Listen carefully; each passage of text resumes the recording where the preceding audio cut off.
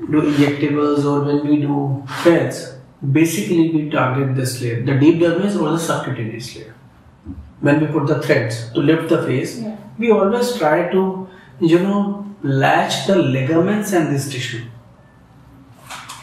Okay, and then we have the another uh, filler types. Some filler they're bone mimicking fillers, so we put in the just over the periosteum. Some we prefer to put very deep because depending on the their rheology and the G prime of the product. Okay.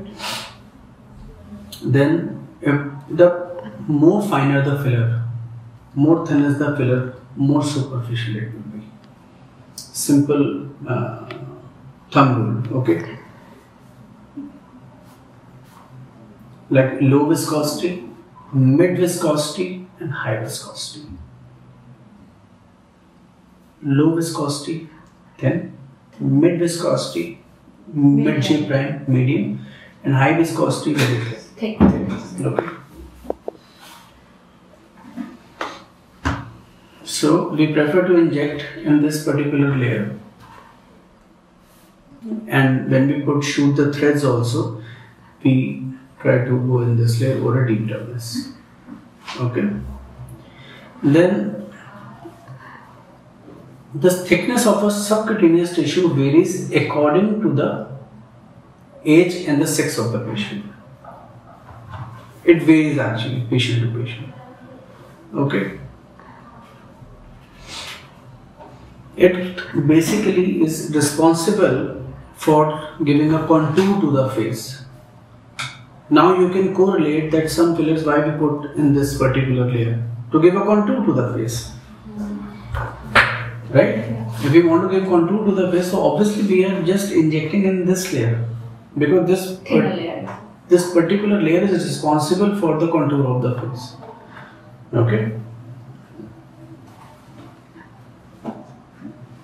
And it helps for a heat insulation, protect us from our vital uh, tissues from heat and cold. It acts like a shock absorber basically. For the lower. Yeah, this subcutaneous layer. It's an energy insulator. Okay. Then the network of lymphatics and arteries are there. Okay. Which helps to fight with the antibodies and the infection and everything. Okay. Produces antibodies and help to fight with the infections. So this is about the subcutaneous layer. Then how skin is nourished? The way we breathe, can also be Exhale and inhale, right? Then it also uh, lymphatic system is there, which if any infection is there, so it clears out. Okay. Then we have the certain blood vessels, uh, which helps to keep the tissue alive. If the blood is being, you know, like uh, compromised or occluded any vessel, so what will happen? The tissue death is there. Necrosis will be there, right? So this is the way skin is nourished. Okay.